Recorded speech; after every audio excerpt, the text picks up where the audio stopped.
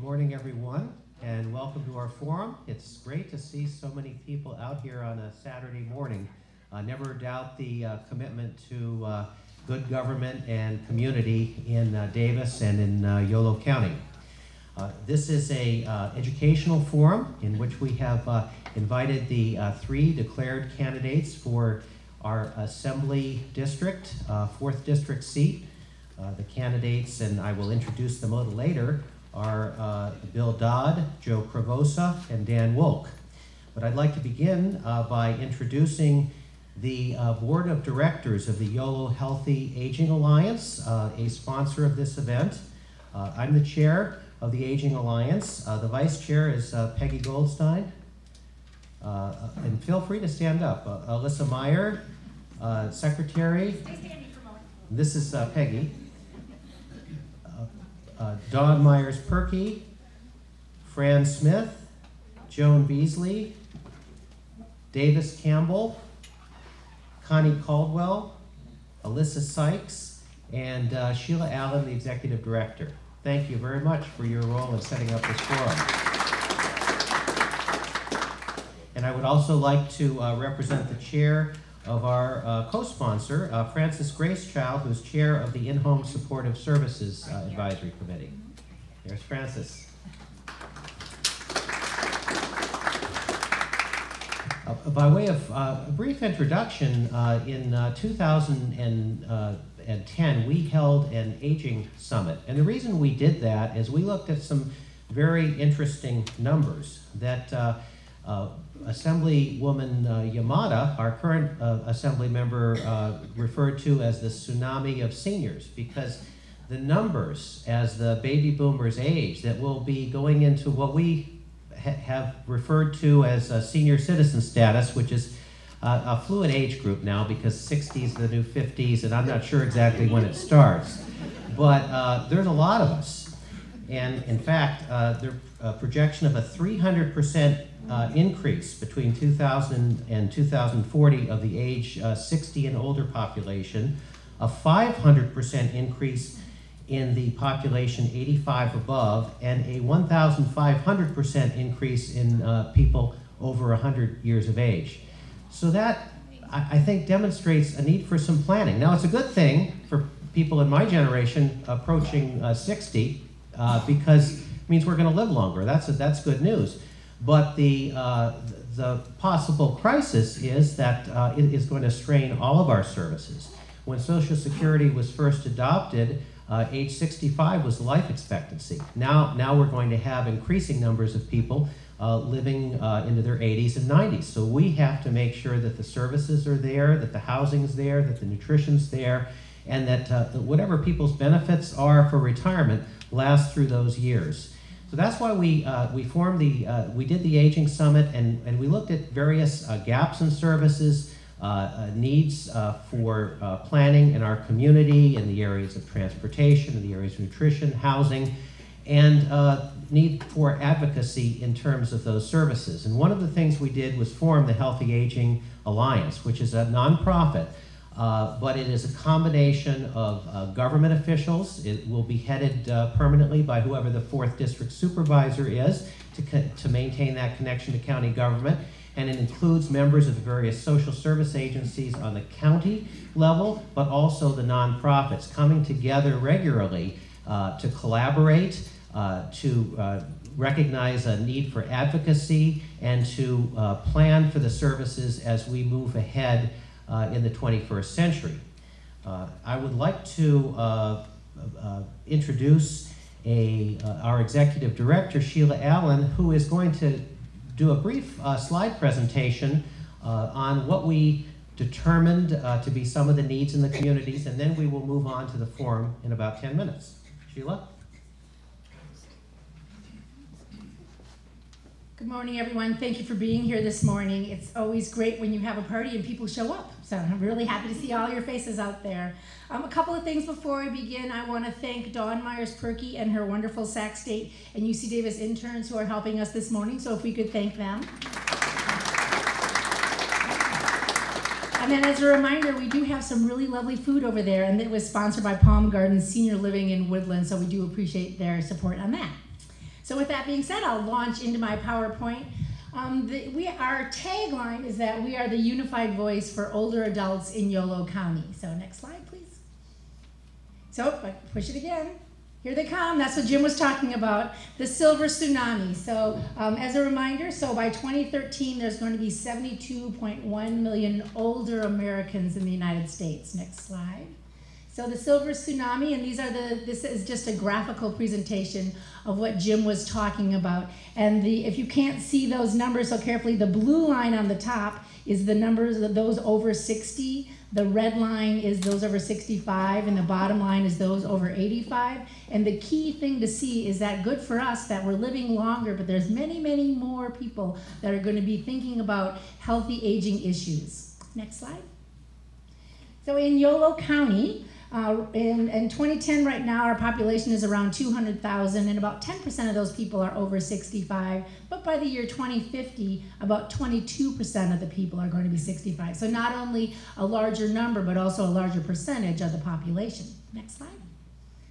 And uh, as Jim said, when we had when we decided to have the first summit, it was a combination of this silver tsunami and the concern about what was happening with programs because of the Great Recession.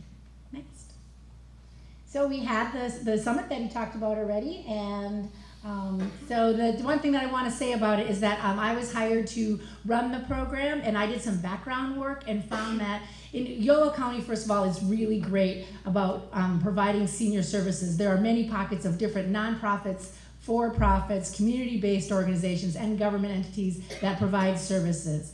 Um, so there's been an interest in senior issues for a long time. And when I did the research on it, I found that 10 years before 2010, there was a task force that looked at senior issues and, and came up with some recommendations.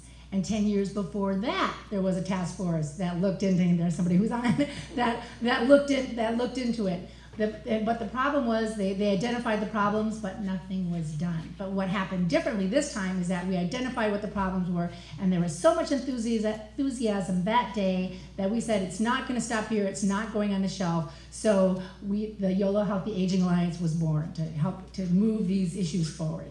Next. So this is our mission statement. The YOLO Healthy Aging Alliance promotes the well-being of older adults through education, collaboration, and advocacy. Next.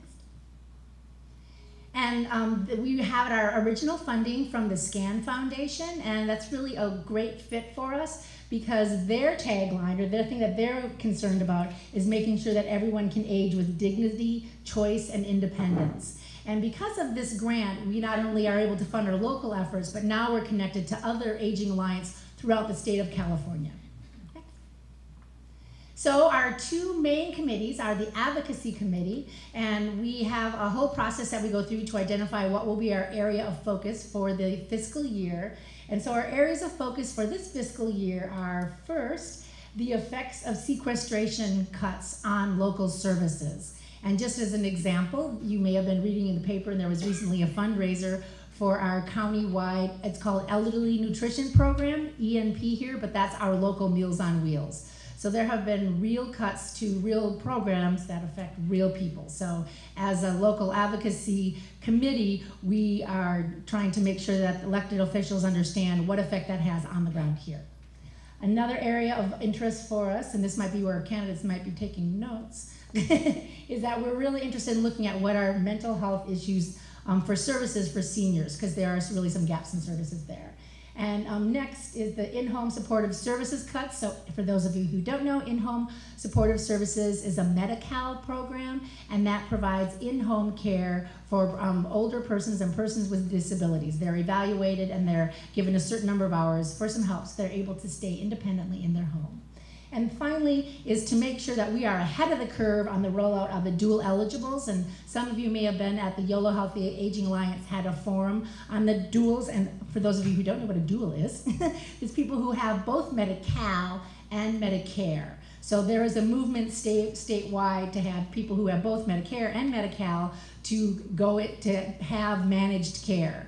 And um, there are 10 pilot counties, and Yolo County is not one of them. So if you have, it's not happening right here now, but there is a pilot, and it is currently the intent of the state to have that roll into all the counties. So those 10, we wish them luck because it's been really an interesting road for them, but they're the pilot ones, and we are really trying to do all the planning ahead of time so that when it does come to Yolo County, we are already set. We'll learn from their issues and we'll have made all those connections ahead of time.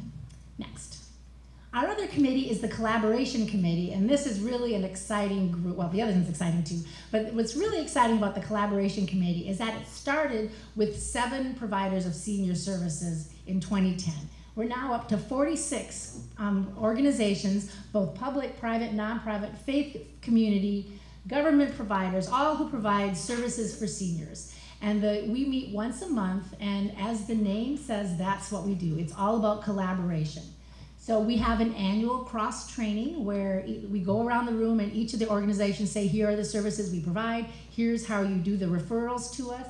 And the other thing that we did is we made we created an adult referral form so that they can more easily be able to refer between these organizations. So as what we was found in the previous evaluations and at the summit, that we were finding that some of the gaps in services were really much more gaps in information so that either the individuals or other organizations didn't know about Meals on Wheels or in-home supportive services or the Davis Community Church and the kind of things that they do. So it's really getting what our, the, the phrase that I'm really grasping onto and I think is great is that our goal is to get the right service to the people at the right time. So this is our website. This is another great thing that has come out of the YOLO Healthy Aging Alliance. And um, this is just a screenshot of one part of it, but the great thing for both providers and for people in the community that I, that I really like about it is the resource tab over on the right. That's the one that's highlighted. And so I had a UC Davis intern that went around and, and made sure that we had all, as many resources as possible. And then you can see the sample here of food resources, and this is the Elderly Nutrition Program. There's a brief description of what it is, their phone number, and then a live link to their website. So it's a listing of the resources for transportation, food, mental health, in-home care and support services, um, and information and referral services. Next. So that's www.yolohealthyaging.org or Google us. So here's the gaps in services. So this UC Davis student also went out and did um, interviews with many um, of the providers and some community members to find out what are the current gaps in service. So this is the part also where you might be taking notes. So here's some of the gaps in services that have been identified, and we've already made some strides in trying to uh, address these. So there are currently 5 million services that are, 5 million seniors, excuse me, who are experiencing food insecurity. And there's also very low CalFresh, that's the local term for the food stamp program, very low participation by seniors um, California-wide, but in particular, um, Yolo County is one of the lowest. So we're trying to address that and how that, the, the, so those are the, the gaps, and then the additional areas of, of gaps are the sequestration cuts I already talked about, that we have a very diverse county.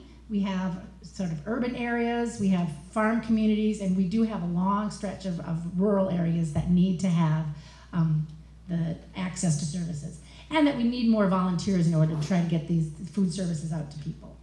Um, next is transportation services, and this here, the uh, statistic that, that my um, intern found is that people outlive their ability to safely drive by eight years, so it's important to do the assessment about when it's time to give up the keys, and if you give up the keys, how are you going to get from where you, where you are to where you want to be. So we have to make sure those are in place. And about one third of seniors experience transportation deficiency.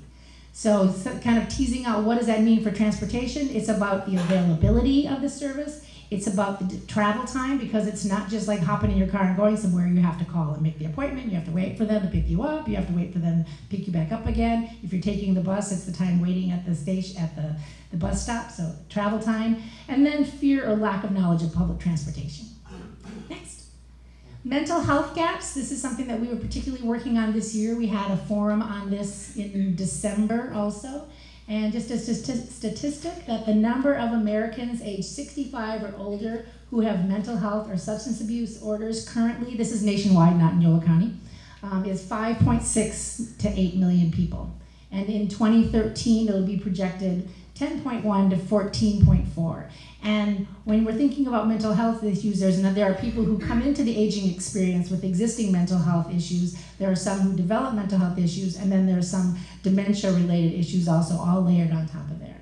So areas of gaps in services related to mental health are budget cuts. There's underrepresentation of minorities that are receiving care. There's reductions in staff and programs. I don't know if people know about this, but there's really an epidemic in elderly suicide that the, um, particularly older men are more likely to be successful when they attempt suicide. So we do have a program that I can talk about another time, a friendship line, to try to, to help that, but an important issue that a lot of people don't know about. Um, there is no geriatric psychiatrist in Yolo County, but that's something that we're also trying to address soon. And that there's limited providers that take insurance because the um, reimbursement is so very low. Next. So elder abuse and fraud, one in 10 adult will uh, experience abuse of some sort, and only one in 14 elder abuse cases are ever reported. So, and, and also in 2010, seniors lost, this is nationwide, $2.9 billion in financial, from financial abuse. And often the victim knows the perpetrator. So some additional issues around elder abuse and senior fraud is that there's um, the number, the sheer volume of that needs to be addressed for this at the uh, Adult Protective Services. That's kind of the correlate of those Child Protective Services. Adult Protective Services has the need is much greater than the number of people we have to be able to address it. Um, the issue of ER and hospital revolving door. So somebody um, goes into the hospital, has an issue, and there all the um, the community resources aren't put together so that they end up going back into the hospital again. And that's not just related to senior fraud and abuse, but other areas also. Um, and this is an interesting one that I hadn't thought about before my student went out and talked to the people, the providers for um, adult protective services. Is the early release program for prisoners that that has um, they come home and they're looking for some place to live or they're looking for some money and they're looking to relatives or people that they don't know and there's financial and other kinds of abuse associated with that. Um, there's insufficient legal services for seniors, and uh, again, many cases of abuse fraud go unreported. So conclusions. Well, here, by the way, anyone who thinks that they're not aging in here, we're all aging. That's why we call ourselves the YOLO Healthy Aging Alliance, where it's not just for seniors, it's about the whole aging process. And I don't think there's anybody in here, no matter what your age, who would argue against the need for healthy aging. And just to remember about that, really the focus of, of, of, our organization and hopefully the community is making sure that people get the right service at the right time. And that doesn't always mean spending more money. It's often about just getting the information to people and that many of these gaps can be addressed by just working together. Next slide. Oh, there's one more slide yet. There we are. So, um, this is just upcoming events. So, we haven't set the date yet, but we will be having a follow up summit since it's been three years since we had our last one, almost four now. Um, so, watch for the date for that. Um, Congressman Garamendi has said that he'll be our uh, lunchtime speaker, so we are checking with his scheduling people, but it will be sometime this spring. And then if you're interested in the work of the YOLO Healthy Aging Alliance, or you just like to be on our email list, when you came in, if you provided your email, then I'll check in with you about that. So that's the end of it then. okay,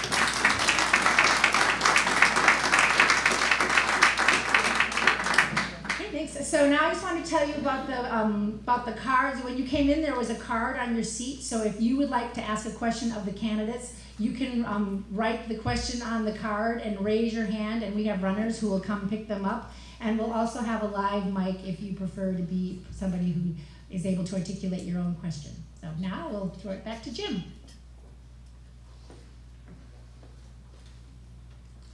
Thank you, Sheila. I'll invite the candidates to come up to the table.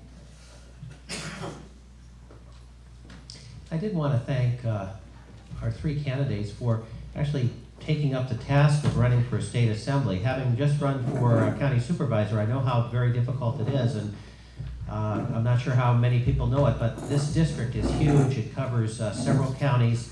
Uh, it, it's almost a, a, a full-time occupation just getting around in the district. So, so uh, really appreciate all three candidates uh, for uh, being willing to run and offer to serve us. I think we're very fortunate to have such great individuals running for office. Uh, we're going to begin. I'm going to, I'm going to introduce each candidate and give them five minutes to introduce themselves. Uh, three to five minutes. They don't have to talk to the whole, for the whole five, but our timekeeper will uh, get very upset if they go over the five minutes. Then after that, I'm going to ask a general question to get, to, to, to get the question started, and then we will follow by, uh, at, by asking questions from the cards, or if I see someone at the microphone, I'll also, uh, call on the person at the microphone to ask a question. Uh, we did a, uh, a drawing, a lottery to determine, uh, first through third speaker, uh, and, uh, we will, will reverse that order at the end for concluding remarks, which will again be, uh, three to five minutes. Our first candidate who won the lottery is Dan Wolk. Dan has served on the Davis City Council since 2011. Uh, voters returned him to the council in 2012 with more votes than any other candidate in Davis's history. Uh, as a city counsel member, he's led efforts to adopt the surface water project. He's pushed for greater investments in the city's roads and bike paths, and he's explored uh, sustainable energy initiatives. Uh, Dan is Deputy County council uh, for Solano County, uh, handling public finance, public contracting, and water issues. He's also the co-founder of the Legal Clinic of Yolo County, a legal services provider for low-income families. Uh, Dan grew up in Davis and attended Davis Public Schools. Uh, he earned his undergraduate degree from Stan- Stanford University and attended uh, UC Davis uh, King Hall School of Law. Uh, he lives in, in, in Davis uh, with his wife. Uh, pardon, I'm sorry. Berkeley. You- Berkeley. Berkeley. I wanted you to go to UC It says Davis. both on there. It does, yeah. I, I was trying to do part of it from memory, and then I uh, slipped into Joe's. So, uh, but uh, Boalt Hall School of Law, oh, yeah, it's an aging thing, yeah, definitely. Uh, he lives in Davis with his wife and children, and uh, uh, very happy to have him here as a candidate for state assembly. Dan? Thank you, Jim, and, and King Hall is a wonderful place to go to school with him as well. His But, uh, father teaches though at Yes. King Hall, that's it. And you're a graduate, but, uh, Yeah. but thank you to the YOLO uh, Healthy Aging Alliance for, for hosting this. Uh, it- it's wonderful, and it's nice to see a lot of familiar faces in the audience, including my father-in-law, Will Eiley, who is probably hating the fact that I'm announcing him, but, uh, but, uh, but thanks for going into my bio, Jim, and uh, just to elaborate a little bit, because I, I work a lot in the issues that, that, um, that we're talking about today, a lot of these elderly issues. First, with respect to the clinic, and I'd just like to note Elisa Meyer, who's, who's back here with the board, and also Elaine Roberts Musser, were also very influential with that clinic and helpful. We set it up actually in the West Sacramento Senior Center, and actually uh, it lives on essentially there. And so a lot of the issues that we dealt with were uh, senior issues, were elder abuse issues, and I'll get into those uh, later. Also, as a deputy county counsel for the county of Solano, a lot of what Sheila talked about, those are county issues.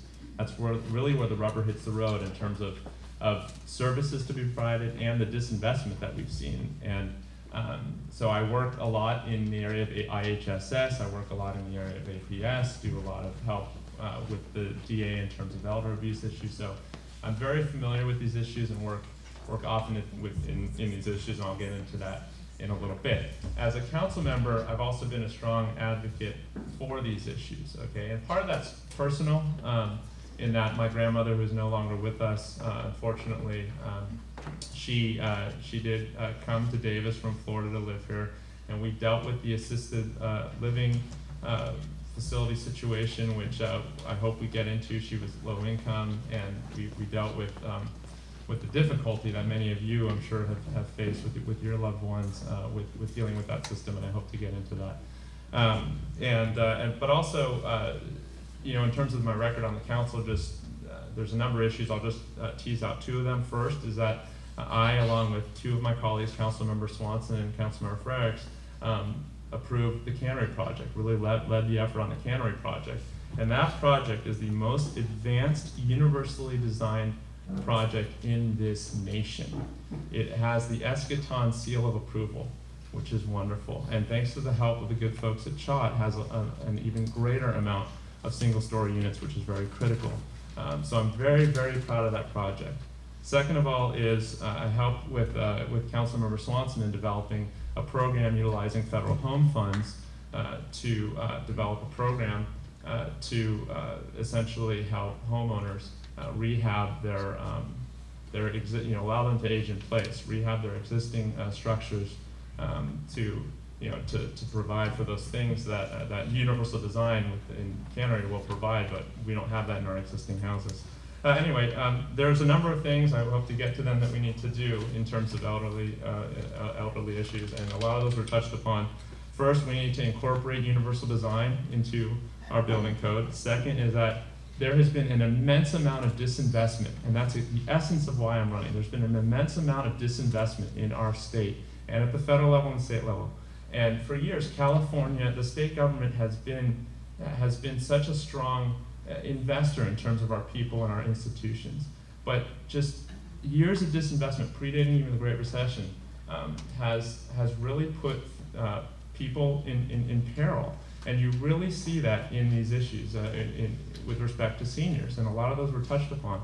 But I see it as a, at, at the county level, I see it at the city level, see it at the personal level. You see IHSS getting cut, you see, um, you see the district attorneys, you see the attorney general, you see uh, legal services in Northern California, other legal entities not having the resources to go after elder abuse. So that's exact, that's the essence of why I'm running, because we really need to disinvest.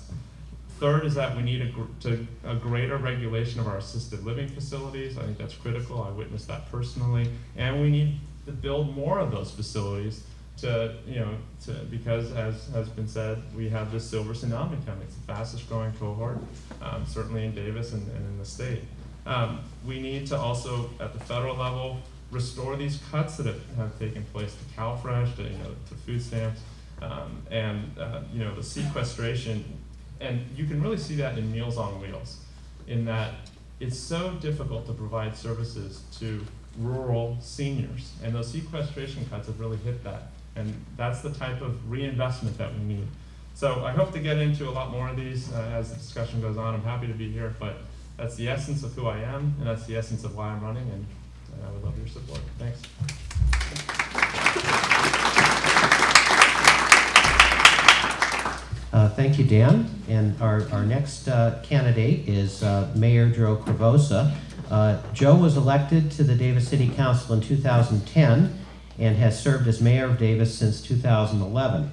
Uh, Joe has worked to develop relationships between the city of Davis, local business communities, and UC Davis to boost economic development and help create jobs, including uh, key early support to Davis Roots, a nonprofit startup uh, business accelerator. Uh, Joe is a lifelong environmentalist. He led the Putah Creek Council for seven years, where he worked to restore the creek's historic salmon. For these efforts, Joe received Davis's Environmental Recognition Award in 2001. Joe's a strong advocate for open space uh, and wildlife protection, and he's also an avid uh, utility bicycle advocate. Uh, Joe grew up in Pasadena and received his undergraduate degree from Occidental College. In 1991, Joe and his wife Janet moved to Davis, and Joe attended law school at UC Davis.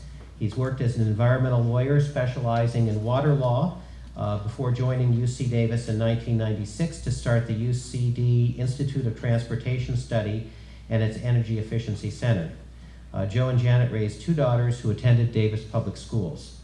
Joe? Very good. Uh, thank you, Jim, and also, of course, thank you for the uh, thank you to the YOLO Healthy Aging Alliance.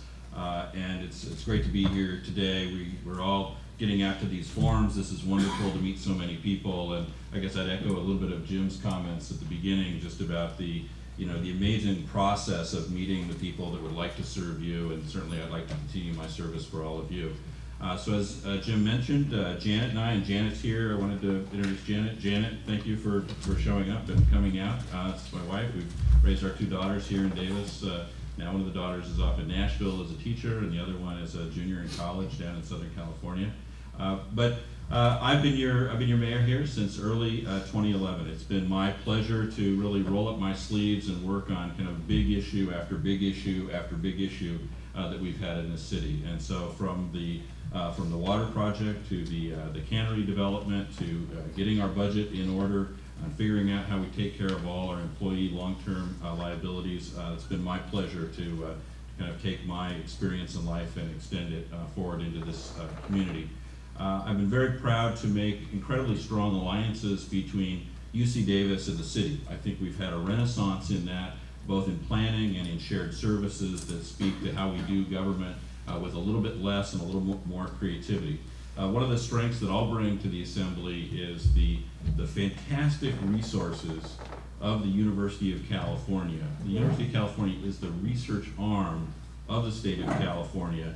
And my day job is all about taking the energy and environmental lessons of UC Davis uh, and extending them uh, out into society. And I've done that at the city, and I certainly look forward to doing that uh, as I go into the legislature, but not just in the area of energy and transportation, but really in the, the great work of, of aging and gerontology and so on that's also going on uh, at UC Davis, and certainly agriculture is another experience there. Uh, I do want to note that one of the, the episodes of this campaign that's been very profound on me was uh, in June, after I announced in, in early May, uh, Janet's parents uh, began struggling tremendously with how they juggled between their uh, in-home support services uh, down in the Bay Area and moving up to Davis and moving into an assisted living facility. Uh, and you know that tells us that these issues of seniors, they're all going to affect all of us, but they also affect our families and they affect caregivers. So we really have this triumvirate of people involved in this uh, that we have to uh, take uh, great care of. Uh, one of the other options, and, and they actually moved up to Davis, they moved into assisted living, and they found that it didn't work for them. And they moved back down to the Bay Area, back down into their home so they could age in place. So uh, dealing with all the finances and all the trials of that is something I understand kind of very, very uh, profoundly and very first, uh, firsthand. Uh, I also want to recognize that as, as mayor, uh, I have not necessarily been dealing with the statewide issues. I've studied them quite a bit, and we'll get to them in the Q&A. But I have been dealing with senior issues kind of right here on the ground in the community. And we're sitting here in the Davis Senior Center, right? And that's a fantastic example of how a community can create a space that brings everybody together. Uh, and that can be part of the backbone of how we serve our seniors. And so here in this very building, we've had our transit workshops uh, that I've been part of, always speaking at them to make sure that seniors know what their transit options are within the community. Uh, we've created this Connections Cafe to bring seniors together to share their uh, different challenges uh, and, and issues. And so here we have the SCAN Foundation putting up the funds to help the YOLO Healthy Aging Alliance move forward. And that kind of tells me that a little bit of private money with a strong mission that brings us all together and puts the information down that we're all going to need to manage seniors in the future can be tremendously powerful. So I look forward to taking my experience as your mayor uh, in a broad, broad set of areas, the connections to campus and all the things that we've worked on forward and to serving all of you. So I'd like to uh, look forward to your support and look forward to learning from all of you.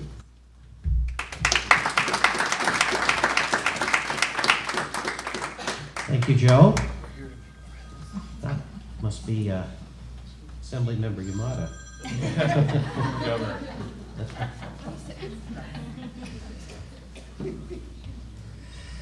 Our next uh, candidate is uh, Bill Dodd. Now, Bill comes to us from uh, the Napa County Board of Sur- uh, Supervisors, where he has served since March 2000. Uh, he continues to serve as a supervisor, and he represents the cities and the county of Napa on the Metropolitan Transportation Commission, and recently served a two-year term as the chair of that commission. He's been a member of the uh, Justin Siena High School Board of Trustees, and he has also served as chair of the Local Agency Formation Commission of Napa County, the Napa County League of Governments, the Napa County Transportation Planning Agency, and the Napa County Flood Control and Water Conservation District. Bill graduated from Justin Siena High School and from the California State University at Chico. He went on to own and operate a Culligan water operation, and during this time, Bill also served in the community as president of uh, national and state trade associations, the Water Quality Association, and the Pacific Water Quality Association. Uh, Bill was honored in 2014 by the Napa Chamber of Commerce as its Citizens, uh, Citizen of the Year. Bill? Thank you very much, Jim. Uh, and thank you to the uh, Yolo uh, County Healthy Aging Alliance. I appreciate the uh, opportunity to be here today. During this campaign so far, we've talked a lot about uh, labor, we've talked a lot about democratic issues, we've talked about ag, we've talked about the environment, but we really haven't given the focused attention and time uh, to senior issues, to elder issues. And as the senior citizen in this group of candidates, uh, I think it's high time that we do that. We're doing that right here in Yolo County, and uh, I appreciate the opportunity to be here to do that. Uh, I do have a passion for this. It was interesting that the, the statistic on the, uh, on the slide said that in Yolo County, the ten percent were sixty-five. I assume that was sixty-five and older, but yet the number statewide is much higher. It's over twenty percent. And over the next twenty years, that is gonna more than double. So the problems that uh, my uh, colleagues on, uh, on this panel accurately pointed out about senior issues moving forward are gonna be more critical as we move, as we move on. And waiting until that happens, I think is, is disastrous, and we need to get action now. We need to start restoring these cuts and get, get the help to our, our seniors that they need, uh, want, and deserve. In Napa County, as chairman of the board in two thousand six, of the Board of Supervisors, we instituted a new policy which put one supervisor in every Commission on Aging meeting every single month. This gave the opportunity for our board members to be in a Commission on Aging meeting a minimum of two times, and in some cases, three times, uh, a year. In addition to that, we started seeing that some of these issues were coming up, uh, and we, you know, waiting for an annual report from our Commission on Aging seemed a little bit, uh, um, it wasn't enough. And so we've asked them, and they have done it twice a year, twice annually, we will have a report from our Commission on Aging to our Board of Supervisors. And we really have found that that has kept us really clearly more in touch with our seniors and the issues that they face on a daily basis. One of the things that we've been able to do, uh, as a county board is, uh, we are the only county out of fifty-eight counties in the state of California that has a license program with background checks for caregivers of anybody that offers care to senior citizens. I'm very proud of that because, uh, when we first came to the Board of Supervisors, we turned it down. I think it was probably around two thousand six. And the reason why we turned it down was quite simple. This is a state, you know, program. None of the other counties were doing it. And for heaven's sakes, uh, why should this fall on the county board of supervisors? Well, let me tell you, my appointee to the Commission on Aging was not impressed, was not happy one single bit, and, uh, she just happens to be my ex-mother-in-law. Let, let me tell you, uh, we had some conversations and we came back at it a different way. And they asked for two members of the Board of Supervisors to come and sit on the committee that had just spent, uh, you know, maybe twenty-six weeks or so, half a year, on formulating this recommendation to the Board of Supervisors that we turned down.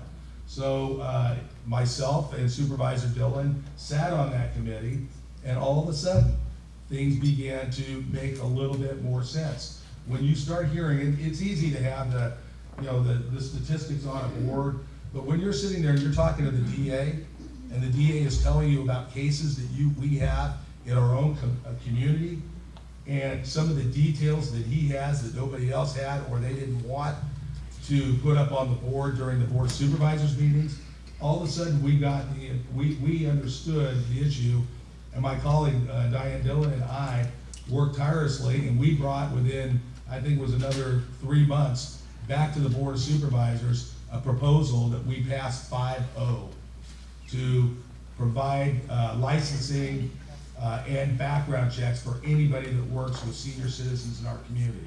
And I'm telling you, it's a, it's a model, and apparently, uh, it's my understanding that Assembly Member Yamada is doing a fantastic job in this area, and she's taking that as a model to the state, which it needs to be.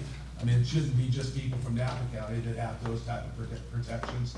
Every senior needs and should have those protections.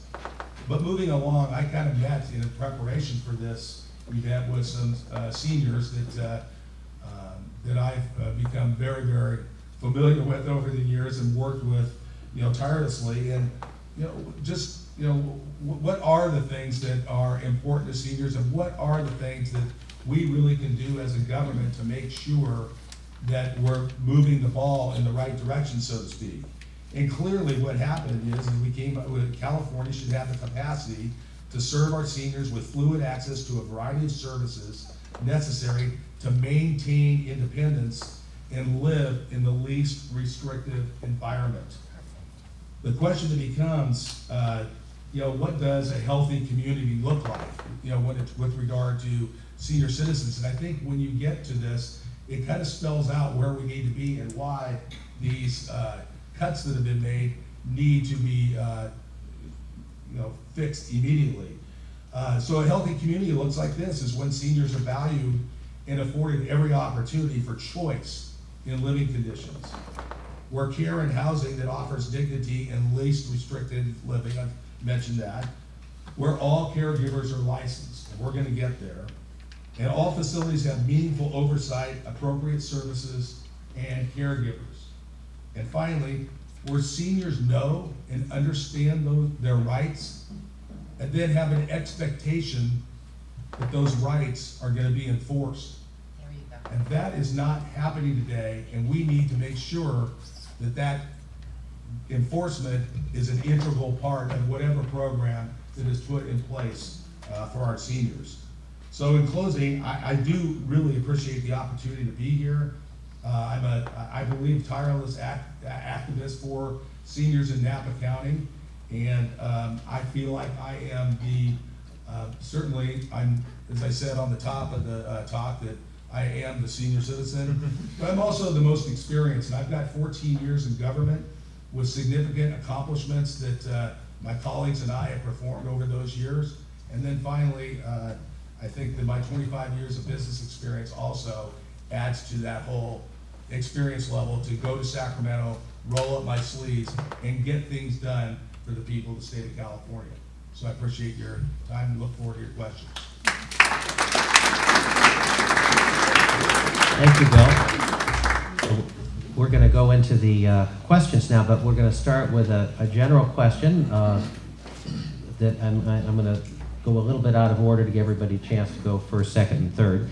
Uh, The first question is, uh, uh, what would you do uh, as an assembly member to assure that the needs of seniors are met in the state of California and in our community? I'll start with Joe. Well, I think that, uh, what, what's the time on this? Two minutes? It's two minutes. So there, there are four areas that I see where we want to focus our attention for seniors. Uh, the first is, first is housing, the second is healthcare, uh, the third is long-term, uh, care, and the fourth, I think, is transportation and, uh, and independence. So to give you, uh, some of the ideas, uh, that I've been talking to people about, uh, in the area of, uh, housing, uh, as was mentioned, we approved universal design for cannery. I do want to say that I held out on the cannery vote at the end because of a safety issue. And I didn't feel that the developer was adequately addressing safety in the project. Uh, but I was certainly fully supportive of the universal design and our senior citizen commission recommending that uh, unanimously. I think we need tax credits uh, and deductions for home modifications to help people uh, be able to age in place. Uh, absolutely, universal design should be more universally accepted. Uh, we should have more options for middle-income seniors. Uh, wealthy seniors are doing fine. Those seniors that are on Medi-Cal and Medicare are fine, but we need to look at more options for middle-income seniors. And I also think we need more support for more flexible, transit-oriented uh, developments that help seniors live closer to where they're going to shop and have their different uh, interactions with the community. In terms of uh, long-term care, uh, we really have a major piece of legislation moving forward, a major act moving forward in the legislature now. This is this residential care facilities for elderly reform. Uh, this is exactly the kind of serious regulation uh, that we need in the area of, of senior uh, long-term care to make sure people are uh, protected. Uh, moving into healthcare, I'm a very strong advocate for single payer, but I also want to recognize that seniors in Medicare uh, have a single payer system, and that is the system we should learn from and expand. I like the idea of integrating uh, Medi-Cal with Medicare so we can provide more services uh, more efficiently and in a less confusing way for seniors. That's not in YOLO, it needs to be in YOLO, I absolutely understand that. So, more to come. Thank you. Thank you, Joe. And uh, I'll, I'll have the next uh, question answered by Bill. Great, thank you very much. During this time of economic crisis, um, uh, services to seniors, as we've talked about here today already, have been slashed and cut to the bone. And e- economies of scale have also been reduced, you know, where it becomes, you know, where we know that it's more efficient for uh, someone to stay in their own home, yet IHSS services are, you know, are, are being cut. And it just, uh, and, and really the cuts, when you take a look at what they are in comparison to the other cuts or the other, you know, it- you know, things that have been reinstated are really insignificant in, in comparison when uh, you really look at the human element of, uh, you know, what this really means when somebody's, you know, forced to be removed from their home into a assisted living facility or from an assisted living facility into a skilled, uh, skilled nursing facility. So, uh, this is something that I think is very, very important that we work really hard and, uh, get these, uh, you know, cuts uh, restored. You know, to, to provide effective, uh, care oversight, uh, uh, must be res- restored, and we, you know, I talked about that in my, you know, my, my opening comments, we, you know, this, there's this reverse, you know, mortgage situation that's going on right now, and, and ten percent, uh, uh, mortgage, uh, uh, default is, is the number of the day. And you know, if there's ten in default, how many do you really think that there are, uh, that are in crisis? And the people are going through the worry and, uh, you know, the state of mind, uh, uh, for, you know, for people is a, a a critical problem. And, uh, I have some ideas on that, on how using the state ombuds, ombudsman, you know, program perhaps to review these things so that these people that are preying on these seniors, uh, uh, you know, stop. And then finally, as I said before, we need to have licensing and background checks. Thank you very much. Thanks, Bill. Dan? Uh, thanks. There's a, a number of things we can do. Number one, reverse the disinvestment that's been occurring. I talked about this before. I've seen it firsthand as a council, as a, um, a deputy county counsel for the county of Solano. That means IHSS. We've got to permit IHSS workers to get overtime. I think that's key. Mental health, certainly, uh, you know, CalFresh, Meals on Wheels. These got to reverse the disinvestment. That's absolutely critical.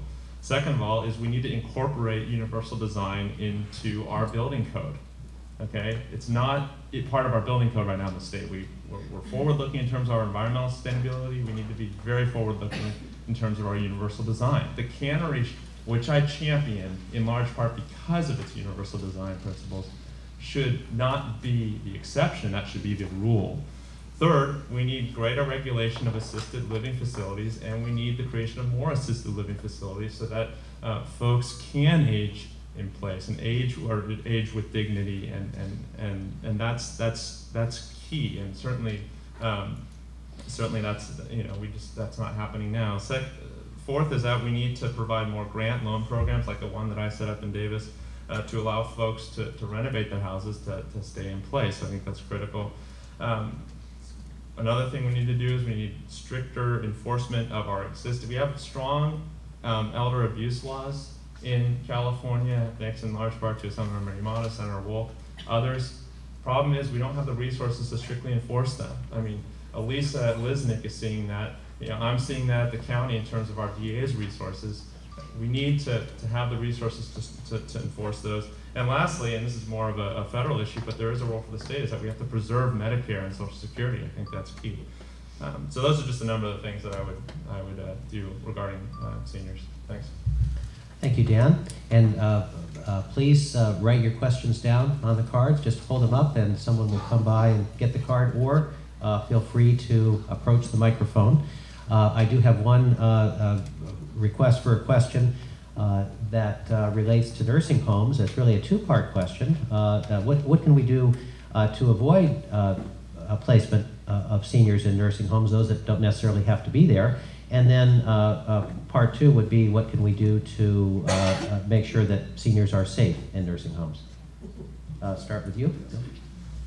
Well, you know, clearly, obviously, it's just, it, it's much better to stay in assisted living facility than it is to go to that, you know, to that nursing home. And what's really interesting is how the funding and the incentives for the funding kind of pointed more towards, uh, towards, towards nursing homes. And uh, I, uh, I think that there's, there's an incentive, uh, you know, often where uh, somebody ends up in a nursing home because the, because of the cuts, and everything that have happened that won't allow them to stay uh, in, in in assisted, in in assisted living. It's, you know, the, the other thing in terms of assisted living isn't the panacea that, uh, I mean, first of all, it, it- it's, it's better, but I'm talking, I'm going to enforcement. You know, that's one of the things that was just shocking to me. While the state of California has rules and regulations and goes in and, uh, look, checks out nursing homes, and we all kind of saw some, you know, really significant issues about that, in that nursing home in Walnut Creek. But when it comes to oversight of assisted living, uh, it, it's, it's amazing, and this is, was brought to us by our Commission on Aging, where, uh, you know, somebody, uh, because through the negligence of, uh, of somebody an assisted living facility, uh, dies, and they come in and, uh, the state comes in and, and the maximum fine is ten thousand dollars. Well, I can tell you, I'm a hunter, and I, you know, know that there are rules and regulations with the California Department of Fish and Game, that if you, uh, uh, shoot the wrong animal, uh, you get fines, uh, way sig- more significant than ten thousand dollars. And I think this enforcement, uh, and rules and regulations and fines, uh, at all levels need to be bolstered, uh, to protect our seniors all throughout the state of California. Thank you. Uh, Dan? Uh, This is a great question. The overarching idea, of course, and Sheila spoke to this before, is to ensure that, that seniors age with, with dignity and independence. And that's really, that's, this, this question really gets at that. I think the key is in-home supportive services, IHSS. Uh, that has been decimated by the state. It's been terrible what's happened on IHSS. I've seen it at the county level. Uh, you know, it goes beyond just issues like, um, you know, not, not allowing providers to, to get overtime, which I'm hoping the governor comes around on that one and something gets worked out at the legislature. But it goes beyond that. It goes uh, to the overarching issue of uh, providing those in-home services to, to a senior who's, who's living at home uh, and, and needs help, um, but, you know, we don't, doesn't want to go to the assisted living facility, which of course is much more expensive, not only for that senior, but of course for in, in a greater societal uh, context. So the key to me is in-home supportive services, and that gets to the heart of, of what I was saying before about this disinvestment and why it's, it, it's, it's really incumbent on our leaders uh, to reinvest. And certainly when it comes to then the assisted living facilities and, and, and nursing homes, is there has to be much greater regulation of those. I've seen it firsthand uh, with my grandmother um, uh, in terms of what we try to do in Davis, and, and you see it throughout California. Uh, these problems that, that exist at those assisted living facilities, and they're good ones, but we still have those, those issues. So the key is to have seniors be able to, to age in place and to get healthcare in their homes, and that's why IHSS is so crucial, and of course, other things, uh, including rehabilitation programs and, and of course, building uh, homes so designed in the first place. That, all that feeds into that independent living and that aging with dignity that's so critical. Thank you, Dan. And uh, our, our next uh, question uh, is, do we, ha- we do have people at the microphone. I'm going to read one, and then we'll go to the microphone. We just, we're just having two people. I'm sorry, did I miss you, Joe? Yeah. I didn't mean to leave you out. Go ahead. Uh, You know, the, the, the first point I want to make, and I think we, we probably all agree up here, is that, you know, we have had a, a tremendous, tremendous champion in Mariko Yamada um, over the, her six-year tenure in the California State Assembly. So whoever comes into the seat, you know, needs to carry forward her legacy. You know, she's now the chair of the Assembly Committee on Aging and Long-Term Care. Her bill, uh, AB 1816, is one of these bills to kind of tighten up the regulatory oversight of homes. Uh, let's talk about nursing homes a little bit. Uh, in-home supportive services, absolutely critical. Since 2011, in-home supportive services cut 8%. That's significant. One of my concerns about this governor's budget is that we didn't go back and look at all the things that over the last three and four years we've been not able to fund, uh, or we've cut back like IHSS and bring them back in. So one of the things that I would do in the assembly is make sure we're looking back at those things that have suffered, not just forgetting them uh, completely. Uh, I'll tell you from my own personal experience and talking to friends, that there seems to be this kind of growing industry where people are able to provide senior care in their home. Uh, they can become an IHSS worker, they can unionize through uh, SEIU, they can get paid, they can get, uh, they can take care of their loved one, but maybe two or three others. And that provides a job for them. It uses our existing housing stock to provide services. It keeps seniors connected uh, with other seniors and with somebody who could be their liaison out into the community. So I'd really like to explore how we could create more flexibility. I think we might be getting a little locked into, you know, long-term care facilities and assisted living care facilities and nursing facilities, and let's provide seniors with as much choice uh, as possible. And certainly, adult protective services are key. Uh, Janet's parents have been uh, victims of elder abuse uh, by somebody who knew them, uh, with us in close contact with them, but it still, uh, it still happened, and there was a tremendous theft from their assets right under their nose, uh, and so on. So I have had experience in elder abuse uh, firsthand without any question. So those are a few thoughts of mine uh, on this very important question. Thanks, Jim. Thanks, Joe. And uh, I'm going to read a question. This will go to, first to Dan, then to Joe, then to Bill. Uh, The question is, middle-income families often fall through the cracks because of their inability to pay privately for many senior services. That, the one example of this would be in-home supportive services, uh, where, where there is an income qualification. Uh, Do you have any ideas to address this disparity? Dan? Yes, um, it is true uh, that, you know, if you're on the higher en- end, end of the income uh, spectrum, uh, you know, obviously you're, you're you're doing a lot better and you're able to, to, you know, get these services and, and to, to age uh, with a lot more resources than, than others. At the low end, uh, I would disagree with, with, with something that Joe did say earlier. I wouldn't say that folks, you know, seniors on Medi-Cal are doing fine. You know, they're, they're certainly struggling, and it's not as if they're not falling through the cracks as we've seen with these cuts, you know, whether it's the CalFresh program or the mental health program or, or IHSS. So you've got certainly, certainly that. But yes, there, there is also in the middle income there, you know, folks who, who maybe, uh, who, who maybe are exempted from some of these programs, but also, but are, are, uh, are really getting squeezed in terms of their, uh, ability to, to pay for these. And that, that's, you know, you see it not just in, in seniors, you see it in, in other areas and just uh, this general squeeze that the middle class is under. Um, inequality in, in California is really growing, and you see that in, in, in terms of seniors as well, in terms of those services. So, so I think it's really incumbent on, on us as policymakers to do what we can to, to address those. I mean, obviously, you have to focus on, uh, again, those, those at the, at the bottom of that spectrum, but, but, but certainly not neglect, you know, those sort of in the middle that are, that are, are getting squeezed and, and, and do what you can on that front. Okay, thank you. Uh, Joe? Uh, yeah, I raised this, uh, raised this earlier, just kind of making sure that we don't forget about the middle income seniors. A few things that I would, uh, I would kind of add to this. I mean, I think that, uh, you know, tax credits so that middle income folks can take a deduction to modify their homes to make sure they can uh, age in place in their existing homes is, uh, is, is something we could uh, move forward with uh, right away. There's no question about that.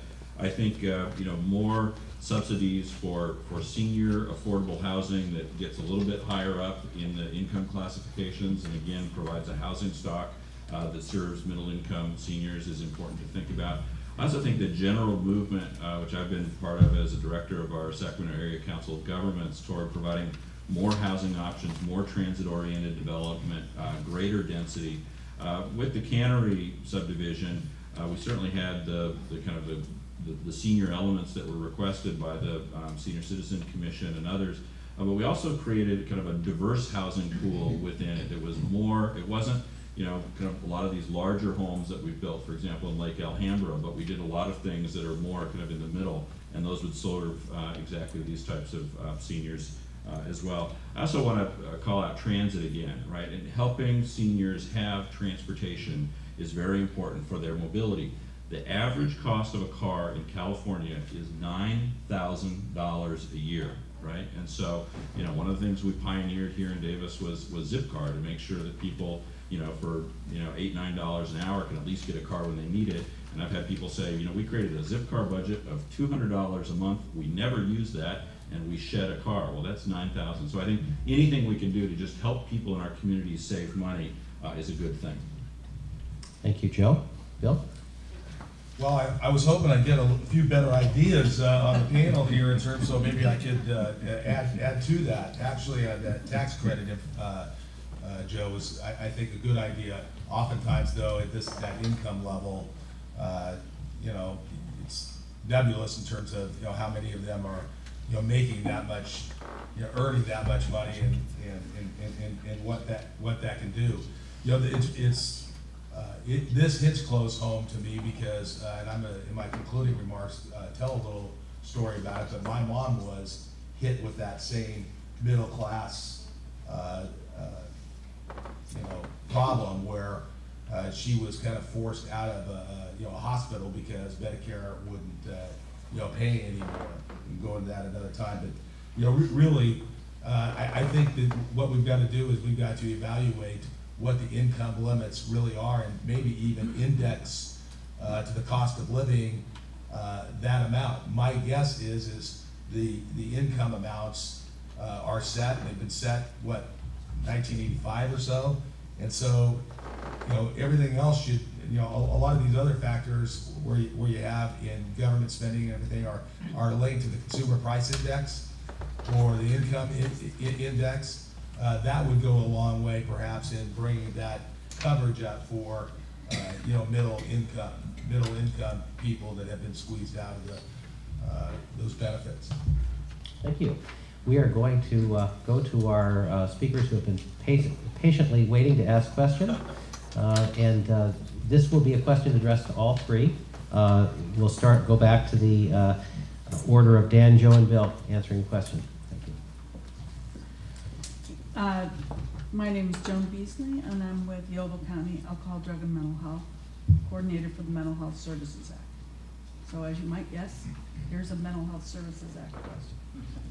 In 2004, California voters passed the Mental Health Services Act, which imposes a 1% tax on individuals with incomes over a million dollars. The act has identified older adults as an underserved population but there is a lot of competition for these dollars. Currently, Yolo County receives about between six and seven million dollars a year in revenue from the Mental Health Services Act. Share with us your approach to the MHSA and specifically its programs for seniors. Dan? Um, I'm, I'm glad you mentioned MHSA, and I, I would just say that Senator Steinberg, who championed it, is a, is a, is a supporter of mine, and someone I've had long conversations with about mental health. Mental health is, is, is really, a, uh, you know, gets back to that disinvestment that I was speaking of before. It's really a key reason why I'm running. That's really where you've seen that disinvestment occurring.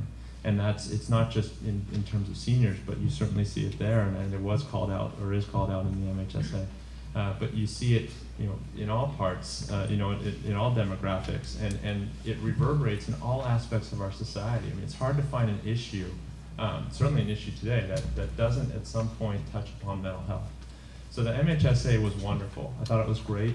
I think there, there are a couple things about it. First is that it, it's limited in terms of what it can fund, and you know this it sort of focuses on new programs instead of existing programs. I think that's a limitation that, that, that I find concerning about it. And second of all is it's, it's good in terms of its funding, but you know we, we need a lot a lot more of it. Um, so you know I have I'm certainly supportive of the MHSA. I think it's been, it's been good, and, and you know I know Yolo County has gotten uh, millions, and we've seen it in Solano as well, and those have gone to some very good programs. But um, we need to be doing more in Sacramento in terms of assuring that, that programs that, that can't get funding from the MHSA get that funding, whether because of, of rules, the MHSA itself, or in terms of just a, a general lack of funding. And it, it's key to have champions for mental health, like Senator Steinberg, um, in Sacramento. There aren't enough of them, and I would absolutely be a champion. I, I, I can't stress that enough. I've seen it firsthand at the, personally, I've seen it at the county. It's just, it's so critical, mental health services to, to our society, seniors or otherwise. Thanks. Thank you.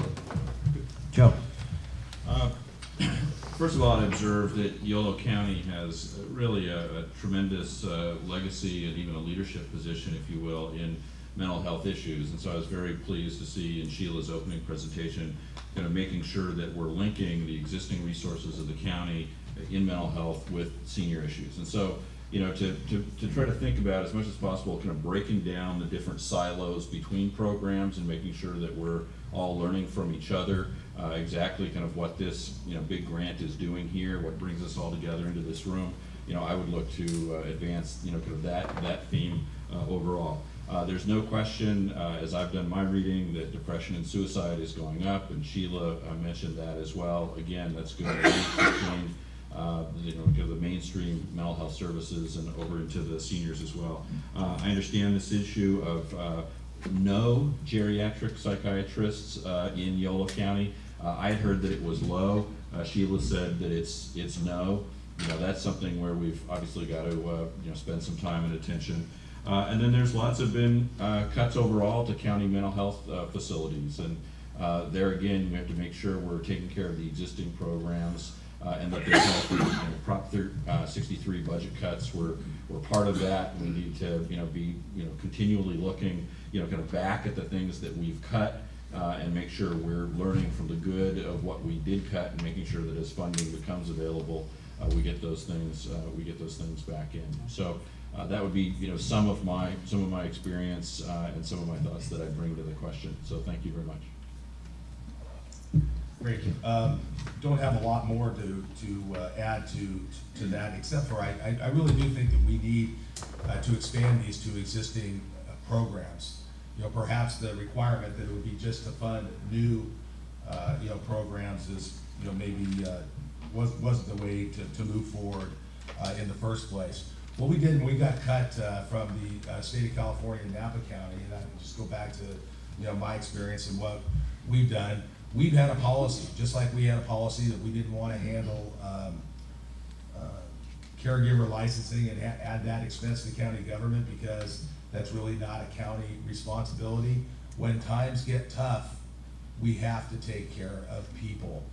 And so we really believe, and, and, you know, look, I'm, an- I'm, I'm, I'm an optimist. I think it's gonna take people in Sacramento that have experience, that have the ability to roll up their sleeves and think creatively and find new solutions to these problems.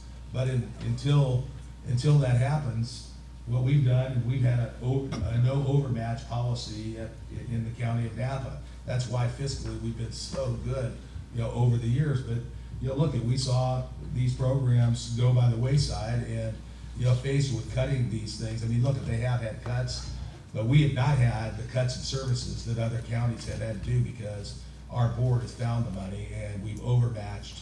And overmatch just means, you know, normally you have a match with the state of California uh, on, you know, whatever the local share, uh, share is.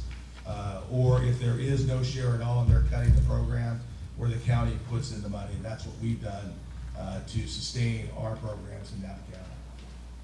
Thank you. Uh, Our next question is from the cards, and we'll, we'll start with Joe, go to Bill and Dan. Uh, th- This question's a little bit different, but the, the concern expressed is uh, the prices that uh, seniors will have to pay for food and uh, the impacts uh, on seniors of loss of revenue in our community as a result of the drought and lack of availability of water for farmers. The question is, what would you do about our water issue? Start again with Joe. Uh, very good. Uh, look, this is uh, Yolo, whether it's Yolo County or, or Napa, uh, we are uh, we're agricultural economies out here, and it's absolutely wonderful. Uh, Eighty percent of our water in the state of California is spent on agriculture, and so the question is spot on that we have to be thinking about the connection between the water availability and our agricultural economy. Certainly, we need to make sure that in Northern California, in this district, we're protecting the water rights that we have so that we can make sure that the crops are, are viable. I'm very proud of my role in the Woodland Davis Clean Water uh, Agency project. I'm the chair of the Woodland Agency Clean Water Project. It's a huge project. Uh, But concurrent with that, we adopted new water rates uh, in the city of Davis, and those water rates are arguably the most conservation-oriented water rates in certainly Northern California and maybe even beyond. Part of what they mean for seniors, quite frankly, is low water users will have much less of an increase than those who use a lot of water. And so I viewed those rates as both supportive of low-income folks in our community and seniors uh, in our community. Uh, but we also have a great obligation here, again, I think to link to many of the great projects going on in the county with regard to food uh, and health. Uh, between our farmers market, getting more seniors to our farmers market, we've got uh, direct access to markets, we've got direct access to fresh food. The more our community can kind of eliminate the cost of food distribution and the cost of the middle person in the food chain, the more we can bring lower cost, healthier foods, you know, directly in. So whether it's here at the senior citizen or uh, center, or to some of our um, senior facilities, whether it's uh, Roosevelt or now um, the Chavez Plaza and, and so on, we have the opportunity to make sure we bring healthy food to our seniors at a lower cost, and I look forward to doing those things. Thank you. Uh, Bill? Yeah, I, you know, I'm not, I'm not encouraged, at least for this year, uh, what, you know, obviously, again, being the eternal optimist, I'm very hopeful that we start getting some, uh, significant amount of rains, because, um, I just don't think that the government has the ability to do things, uh, you know, that quickly, that it's gonna help, help the pricing, uh, schedules of things that are gonna come out this summer. I mean, you've got cities like Davis that's done a great job with their water. I think the city of Napa's done the same thing. Uh, we put in water reclamation plants, we're already doing that, so that the lower rates that people have that conserve water that are already in place are really gonna have to, uh, you know, do most of the job. But the economic, uh, realities to this, of the, of a drought today and the pricing on food, you know, in the, you know, in the, in, in the near future, within the next six months, just realistically, to an- to address the question, I'm not, I, I'm not hopeful. I'm, I'm more hopeful that, uh, that we can get some rain in here so that the farmers can uh, alleviate the, the significant problems that, uh, wait for them in, you know, in the future if we don't get the rain. Um, you know, just, uh, uh, yeah, I think Joe's, uh, you know, answer in terms of, uh, you know, lowering the other cost of food in terms of delivering everything was, you know, you know, was spot on. That seems to me to be, you know, again, another long-term solution. But the other thing is, we gotta go back and look back at the regulations that this state has put on our farmers and the contribution to the cost of our food. Uh, look at, I, we can't ignore the middle class any longer. We can't talk about the, the divide between the rich and the poor and, and not want to increase the minimum wage. But we've gotta be realistic in terms of, and I think the plan that the legislature has right now for that is, uh, very, very appropriate. But we've gotta be careful of what we do that's gonna increase the cost of our food to our citizens. Thank you, sorry. Thank you. Our uh, next uh, question will come from the microphone. I never answered Oh, I'm sorry. Dan? And I want to answer the water question. I, uh, I, um, I, among other things at the county, besides dealing with a lot of these issues, senior-related issues, uh, mental health, I deal with water. I'm the county's uh, water attorney essentially, and focus on the Delta. Food prices certainly were rising before the drought, and the drought is just exacerbating it. It's, it's frustrating to see food prices rising while you see land going fallow because of, of a lack of water. It's, it's, it's terrible, and it, it, it conjures up images of the grapes of wrath. You know that kind of uh, that that that type of situation is terrible. Um, a couple things I'd like to say. It's hard to answer a question about water in, in two minutes. First of all, is, is we need greater conservation. Uh, even even in agriculture, we can we can do even more conservation. Um, the you know there's more we can do in in in terms of um, you know in terms of, of looking at different technologies and, and in terms of ensuring that our, our water is used uh, most wisely. More we can do on that front. And this, of course, raises the biggest water issue in certainly this district, but the state, and that is the, the Bay Delta Conservation Plan tunnels plan by the governor. And I am unequivocally opposed to the BDCP tunnels plan. That's clear. And no legislator from this district should be at, at all in favor of that or any component of that. I stand with, you know, with Congressman Garamendi about, on that. I stand with Senator Wolk, Senator Marimata, Supervisor Benz has been very strong on that. Um, and the key, the, the biggest issue with the B, there are a number of issues, but certainly is the threat to our water supply here in the north, and, and, and, and also is the effect it's gonna have on the delta, and the, the real elimination of a lot of our agricultural land without true mitigation. And that's a real big concern of mine, so those are a couple of things that I would say ab- ab- about the drought and, and food prices, but it's, it's arguably the biggest concern right now in this district in terms of, of our water. Thank you. Thank you, Dan. Uh, We'll go next to our, uh, our uh, questioner at the microphone, and the order of the answers will be uh, Bill, Dan, and Joe. Thank you. You want to move it down a little? Thank you. Shorty. Uh, My name is Elaine Roberts Musser, and I'm part of the advocacy group on the Yolo Healthy Aging Alliance. This is gonna be a tough question. Um, In the Yolo Healthy Aging Alliance, we've noticed that so many of the cuts are foolish. They're penny wise and pound foolish. We've seen cuts in IHSS, older adult program, uh, those sorts of cuts that end up robbing seniors of their independence and then putting them in nursing homes, which is more expensive even to the state. That makes no sense.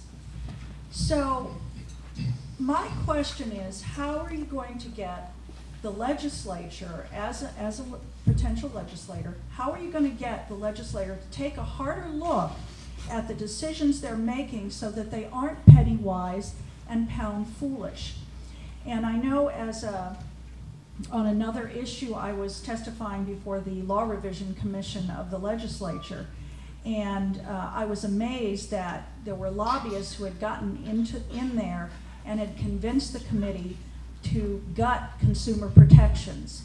And uh, I had a list of them, and, and it was just, it was glaring. And I said, what are you doing? And they essentially put back all of those. But it took a citizen coming forward to say anything. If I hadn't said anything, you would have your consumer protections gutted. So as legislators, what are you going to do to make sure that our consumer protections stay in place and that we don't make foolish decisions that are penny wise and pound foolish? Okay. Let's start with Bill on that. Well, I brought that up in, in, in my uh, earlier points, that uh, the economies of scale have been absolutely lost with the state of California on these uh, proposals, these cuts, where, you know, you, you're, you've got, you know, uh, you know, Medicare, or uh, even Medi-Cal in some cases, they're paying for some things that could, uh, you know, be, uh, be used uh, a lot more efficiently, you know, elsewhere. But to the question really is, what would I do as a legislator? I would do the same thing that Betty Rhodes did to me. Uh, you know, look at, uh, I would, I, I would sit down, and this is what I think that has been lost in, in many parts of the legislature, is the camaraderie and people getting together. I am a centrist, there's just absolutely no about, no doubt about that. And, uh, you know, the thing is, is I don't really believe that senior issues know partisan, uh, concerns. And we, and, and, and, you know, everybody that's up there in that legislature has, uh, a, a mother, a father, a grandmother, a grandfather, a brother or sister, or somebody that has gone through this, gone through these, through these issues. And I, I just think it's, uh, I, I, I don't know, it, it, it defies common sense, uh, the funding we have right now without these econom- economies of scale. And frankly, I think that the legislature currently today uh, ought to be readdressing this because, um, yeah, and, and, then- but then there's the, there are these, you know, issues, it's a, you know, there are federal guidelines and obviously funding sources and, you know, and state, but, uh, I think it's just a matter of regrouping and rolling up the sleeves and, and, and and getting it done. Uh, The money is there, the savings are there, uh, and it makes sense to do it. Dan? Um, Elaine, that's a wonderful question. It really, I've talked about it before today and elsewhere. It, it gets to the heart of, of really why I'm running. There's been this disinvestment. And these programs, yes, that, you know, whether it's mental health, whether it's IHSS, yes, they, they, they cost a bit of money. But they're great investments, both in terms of, you know, the short term, in terms of what's happening, you know, in terms of the, the dollars that are going out then, but it's, it's preventing sort of these larger issues. And IHSS is a perfect example of that. I mean, if someone doesn't get IHSS services, they end up in assisted living or nursing homes, or if the IHSS provider isn't getting overtime, you have to think about hiring another, it's more expensive. The, I, I think this, this, this raises it, and, and I, I disagree with, with Bill uh, respectfully about, uh, it, it has in many ways become partisan. It has there is a sense among a number of folks in, in Sacramento um, that, uh, that, that government doesn't have this role to play in terms of investing. And in the past, our government has played this strong role. And you know, it's not just in senior issues, you see it in education and, and infrastructure. And we have to have leaders who are willing to reinvest. And I believe the people of this state are willing to do that. Certainly this district, the conversations I've had, they all agree. These ideas that I talk about, certainly in places like Lake County, which has the highest poverty rate of any county in the state. They understand that we have these challenges and that it takes a concerted effort by our leaders to reinvest and, and, and to address these issues, both in the short and long term. And that's exactly why I'm running. So your, your, your question really gets at the heart of, of, of why I'm running and, and why it's, it's so critical right now to have leaders in the legislature who, who understand that. Joe?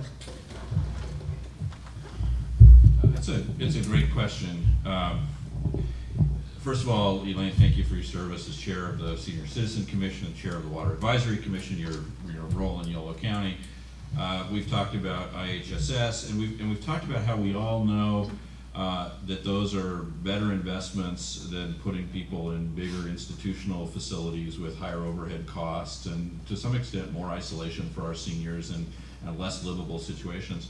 Um, where my thinking goes on this is an article that was in the Atlantic about nine months ago. It was a piece by uh, Peter Orszag, who was the budget director for Obama at the beginning of the administration, and he pointed out how little money we put into the analysis of government programs after we've put enormous amounts of money uh, into funding them. And what does that result in? It results in kind of lockstep, kind of doing the same thing we did, or getting into these more partisan battles of are you pro or are you con?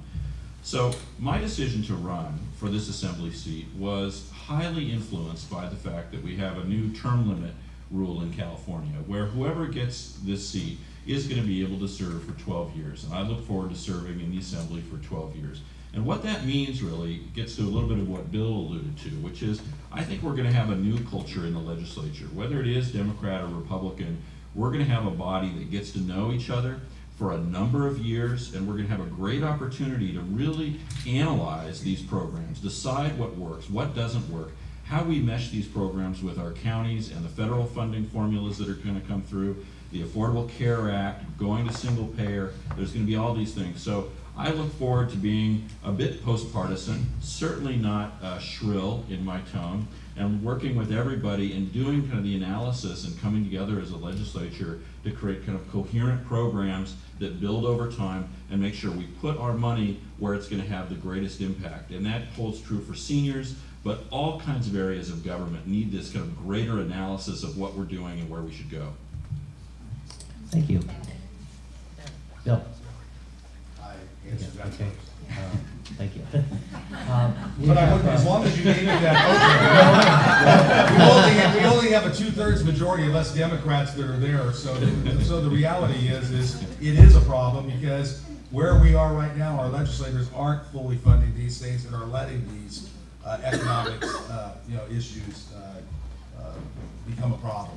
I've tried to vary the order and as a result, I've confused myself, so apologize for that. Uh, But uh, the, uh, uh, we're not going to have time to answer all the questions, The, uh, so we're going to take uh, uh, two more from the mic, and then I'll try to take another from the the cards that I got, then we'll need to go on to concluding statements so we can finish by 11:50 as promised. And then, however, uh, I think the candidates, if they can, uh, don't have someplace else they have to rush off to, can stay behind and answer other questions. Uh, I received a, a couple that were more political than relating to senior issues, and you should ask those individually, because this is an educational event, and, or, or save it for the uh, Democratic Club or the Republican Club, or whatever else, uh, other forum i- is, is more of a political one. So uh, I'll go to the uh, microphone, and we'll go uh, with Joe, Bill, and Dan on this one.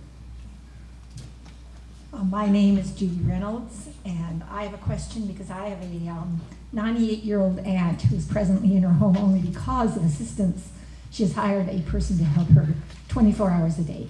And Dan, you mentioned just briefly in passing the issue of uh, overtime pay for workers who are doing in-home care. And I personally, because I'm a union file, I love unions, And so I think it's a good idea for people to get overtime pay. But when you're talking about 24 hour workers, that gets a little difficult for anybody to afford uh, help at that point. So I guess my question is is there a way to compromise, not compromise, but deal with both the issues of the need for in care workers to get decent pay and those who are having 24 hour care? Somehow a compromise on that issue where you could get people paid decently and get people who are in my aunt's position to be able to afford home care so they don't have to go into a assisted living or a restaurant.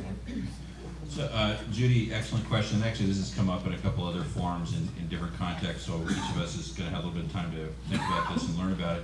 But the, the big picture here that everybody should know is in, in-home supportive services, the federal government has laid down the law and said there's not gonna be overtime paid. So that creates this problem where you get to forty hours a week, and after that, the feds say, we're not gonna pay overtime.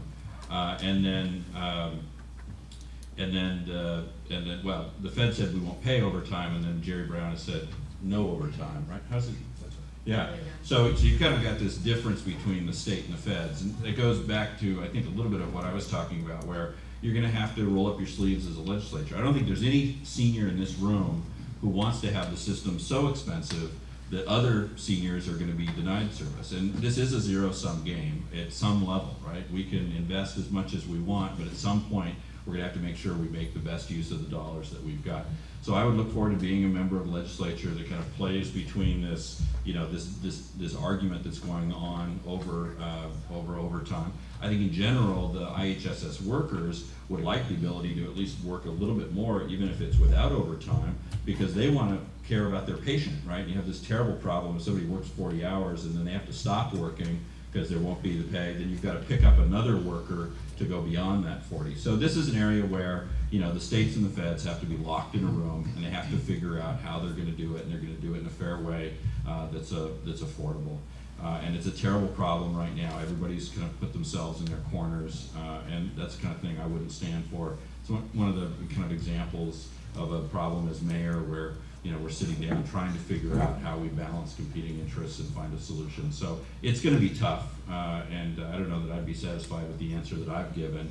Uh, but, but, but, you know, two big powerful sides have laid down and said they disagree, and it's gonna be a challenge. Bill? Yeah, I mean, it, it even goes further because the cuts are, um, less than, uh, forty hours a week. So the, the quality of care and, uh, and- and the gaps in, in, in care are e- even more, even more critical. And so, uh, the, you know, this, this has been a, a, a real connection for us in Napa County. I sit on the IHSS, uh, you know, auth- authority. Um, you know, we've, we've actually gone to the point where we try, we're, I guess, it's a small county, but we're fourth highest, uh, paying, uh, in, um, IHSS workers in the state of California. And, uh, we wanted to give a raise because we were concerned about them not getting overtime, and, you know, we have a, a, a you know, just, just a problem. We look at these people are just doing incredible work. They're uh, dedicated, uh, and the- what they're getting paid, I think, is uh, really a slap in the face uh, compared to the role that they are providing, not only for our communities, our state, but uh, for the families that they are and the patients that they're serving. So we went and tried to give them uh, 50 cent an hour raise, which is, you know, not the be all and the end all, but up to twelve dollars an hour, you know, now. And the state of California came back to us and said, look it, if you do that, because the state's gonna take this program over, we don't know exactly when this is, but I think in the next year or, or two perhaps. And the state of California says if you raise their rates fifty cents an hour, when we're take over this program, you have the responsibility for the maintenance of effort, which means we would be paying fifty cents an hour for the rest of the time, even though we'd be out of the program. And so it was really, uh, you know, one of those things that, you know, uh, is, uh, I think, again, penny wise and pound foolish. I know the state obviously has to watch their costs as they go into the program. Once they take it over, you can't have counties that are so high and others are so low, because they're gonna have to balance it. My time's up. Thank you. Thank you. Dan? Uh, great, and thanks for that question, Judy. Um, who happens to be my Cub Scout pack leader when I was a kid. nice to see you, Judy. Um, but uh, yeah, I, I- I would just urge, uh, you know, Joe and, and others to, to talk to those IHS workers. They they want that overtime pay. They deserve that overtime pay. I can't think of honestly a stronger um, advocacy issue for, for IHS workers than that overtime issue. It's a really big issue right now. And it's, you know, a value judgment of mine. I, I believe they deserve overtime. Um, and we've, we've got to make that happen. It's just, uh, you know, that's how I come down on that issue. They deserve overtime, uh, just like other workers. And um, like Bill, I work um, in Solano County, uh, you know, and, and familiar with this with this issue of, of and have, have seen up front those those challenges. And and Judy certainly presents a, a you know really it's a it's a good point about how yes it, it is it is more expensive to provide that overtime. It is true, but you know it's just something that I believe is is um, is is something that those those workers deserve.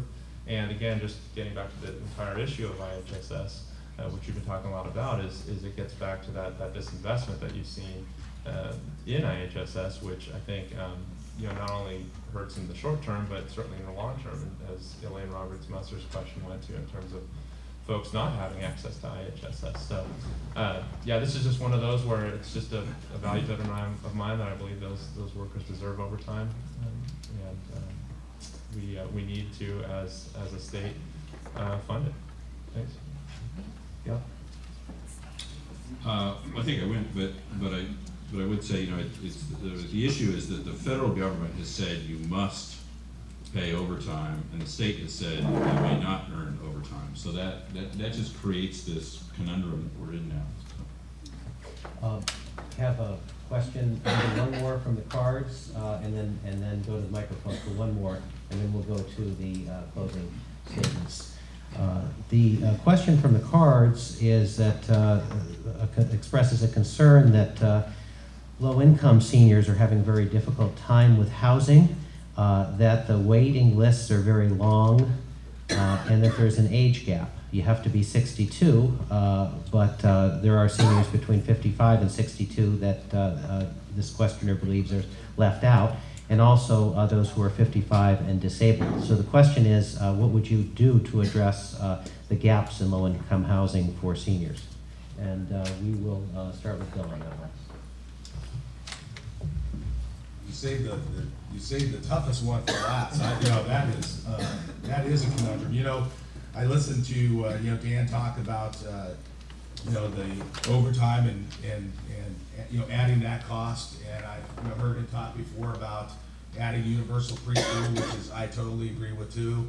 But you know, at some point in time, I don't, I don't know, you know, there's three point five billion dollars in universal preschool. What's the cost of, you know, going?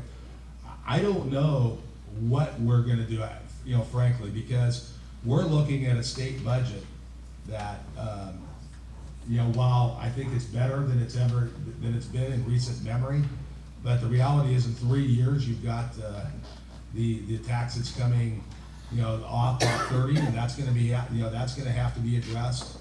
Um, you know, I know that the housing uh, authorities have long waiting lists. I know that we do in Napa. and I think that's a, you know, a, a real big concern. And there's got to be some sort of incentive, you know, for the state perhaps that, you know, that will be, that, you know, will allow some housing opportunities. But, uh, you know, I, I don't have the magic answer. Perhaps, uh, you know, my colleagues will.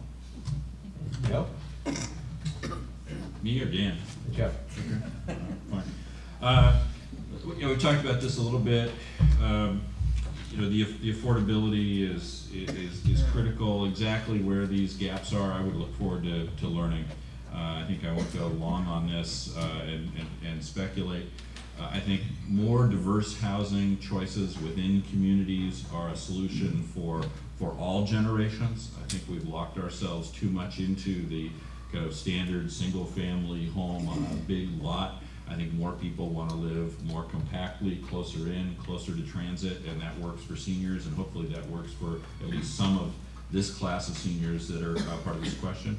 Uh, I think that the, the theme I brought up earlier, which is kind of helping more people use their existing home to provide care for seniors where we might have three or four or five in a house, is a very strong economic model that can make sure people don't fall through the cracks, can stay more connected to others, uh, can share experiences, can share transit, uh, can share car costs, can, you know, can share Davis community transit ideas, things like that. So uh, those are some of my thoughts. Uh, I agree with Bill. These are these are tough challenges, and we have to think tremendously about how we communicate the trust we need the public to give us. I mean, we need to instill in the public's mind that the elected officials are making the best possible use of your dollars. Uh, and I want to do that. I want to be able to tell people this is the most economically viable solution that we've got to provide the greatest good for the greatest number of people. And if we don't do that, the revenue side, which we desperately need, is going to fall apart because people aren't going to trust that the government is spending their money wisely. Uh, I'm actually very proud of a number of things we've done in Davis to try to show that we're spending the public dollar wisely, uh, and I think that holds true in, in this context as well. And Dan, how would you address the gap in uh, senior housing? Uh, first of all, I appreciate Bill bringing up a, a few of my platforms. You can see more of those at www.danwolk.org. but uh, including Universal Free School, I appreciate that, Bill. Um, so, yes, this is uh, there's a, there's a couple things to be said about this issue. I think it's really critical. First is um, is you know it's worth looking at, at, at the current laws as they relate to to senior-only housing developments, uh, qualified, you know, senior qualified housing. I think it's worth uh, taking a look at those, seeing if they're if they make sense uh, with our our changing um, society. Second of all is uh, again it gets back to this disinvestment that you've seen in, in two main areas that hit really on this, and Bill mentioned it before or touched upon it was Section 8 housing, which comes from the federal government funding. Uh, that's been being cut that allows a lot of, um, of, of, folks to be able to afford uh, housing. Uh, certainly, uh, there are huge waiting lists for that. There were huge waiting lists for that when I worked on it in, as a law student at a clinic in Berkeley, and there, it's, it's even grown now. Another one is, is the demise of redevelopment uh, in California, which provided, at least in the city of Davis, for example, 95% of our affordable housing was funded through redevelopment. That's gone away. And I understand why it went away. I'm not disagreeing with that. I think that though we have to find ways of, of, of um, funding the good that went away with redevelopment. And one of those mainly is affordable housing. And there's a lot of uh, folks in the legislature working on that, and I think it's something that we need to focus on. Um, but the long-term goal of this is the is our projects like the cannery projects is to is to ensure that we both provide housing in the first place and to provide senior-friendly housing um, multi-generational housing that, that's that's close to transit, that's that's close to services, and the cannery it, it epitomizes that. I'm not saying it's a it's uh, the be all and end all of that, but it's it, it, you know we have to have that kind of development. We have to first of all look to, to create more development uh, that is senior friendly, uh, and uh, and then you know again it gets back to universal design principles. And my time's up, but there's a lot to be said for this. It's a good question. Thank you, Dan. And we're going to go to a final question, but before I do that, again, thank you everyone for submitting the questions. And I know there are a number that we didn't get to, but again, feel free to come up and ask the, the candidates uh, after we finish the forum. Uh, our last question. I'm Peggy Phelps. Uh, I work with family caregivers under the National Caregiver Support Program. And um, uh, I just wanted to share with you in this forum um, kind of maybe it's a summary a little bit of some of the needs that you've, you've addressed. Uh, sounds like all three of you are um, aware of many of the issues. Uh, I want to point out a couple of other things. Um, of course, the in-home caregiving is a major issue. Uh, I think it's you, need to be careful. You keep talking about IHSS. That is for low-income uh, people, and when we're talking about in-home caregiving, uh, the big, big gap is those who don't qualify for IHSS services, as well as uh, uh, they are on a fixed income. Uh, they may be um, uh, able to care for the person at home for a while, but if you're caring for somebody with dementia, it becomes a 24-7 job. Uh, many, um, it's mainly women, need to quit their job, stay home and care for uh, that person. they can't afford to put them place them in assisted living where they would get three eight-hour shifts of twenty-four hour care instead of that one person uh, providing that twenty-four hour care. So we really, um, there's a lack of availability of trained caregivers. Uh, we have no licensing requirements in the state for caregivers, no training requirements. Anybody can say, I'll come and take care of your, your mom or your, your spouse for ten dollars an hour. You pay them cash under the table, and we have a, the whole labor, uh, issue is another thing. And partly because now, since January first, the new labor law that's come into effect, uh, has raised the cost of, uh, agency, um, caregivers to, almost to the point where, uh, you can't afford to hire somebody, uh, from an agency because of the overtime and the insurance requirements. Um, so all I'm doing is pointing this out. I don't know what the answers are. I just know we really need to look at the caregiving industry. Because we need trained caregivers, maybe there needs to be something in the job training programs uh, through ROP, through community colleges, for some certificate kind of programs to train caregivers so that, and some ways, some easier ways to do background checks. Uh, we need a private registry for caregivers similar to the public authority that does the IHSS uh, uh, registry for caregivers. Um, And uh, many of the people who want to work independently as caregivers maybe need some business training on how to be a self-employed, independent contractor type of caregiver, uh, which we really don't have right now. Um, there's a big uh, insurance gap. Uh, people think when they go on Medicare that that's going to take care of all their health insurance needs. Then they go to a hospital, acute hospital, are there for two days, need to go to a skilled nursing and find out that Medicare does not continue to pay for the skilled nursing because they were not in the hospital three days. Um, and so uh, we have a big gap in the Medicare insurance piece there. Um, and uh, I'm glad to see under the new Affordable Health Care Act that people can supplement their Medicare with Medi-Cal possibly, uh, that helps. But uh, it's um, a big gap in the insurance. And we can make a change in California.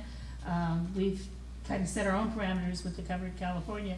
And so I think you have a, you, you could have an influence there in that area. Um, Could we th- then narrow it to one question? Okay. I really don't have a question, I just want. Okay. And then, uh, I May- think. it Maybe I can help you. Uh, You Okay, you let did me, raise. one more minute. Okay. Um, uh, affordable housing is not necessarily affordable for low-income people. So when you're talking low income and affordable, you're talking two different things. And so we, that's another area that really needs to be addressed. Budget-wise in the state, um, as you know, that we've had a lot of cuts. We've talked about how to, um, enforce some of the regulations. We maybe have enough regulations, but we need, the ombudsman program was cut. The caregiver resource center program, uh, staffing was cut. These are ways that can help monitor and help caregivers, uh, access services. So, um, those are just some of the things I wanted to, to add to what you, I know you're already aware of. Thank you very much.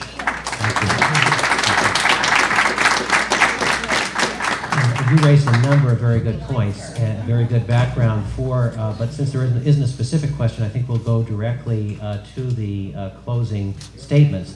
And I'll ask the uh, uh, the candidates are free to address any of the issues raised uh, uh, throughout uh, the forum today or any new issues, and, and uh, please feel dis- dis- free to discuss whatever you want.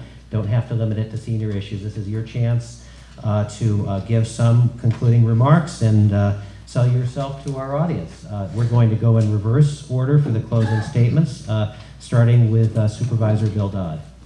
Five minutes, ten minutes? We're going to do up three to five minutes. Uh, You can do three, or if you want to go five, that's fine.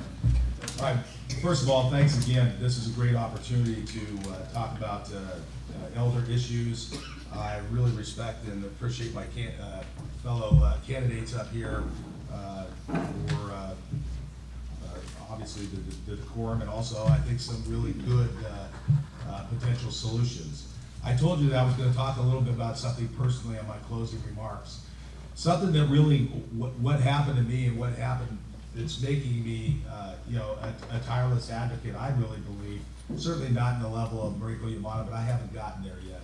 Uh, but let me just tell you, uh, and how senior issues can affect people overnight without even knowing it's, you know, it's gonna happen.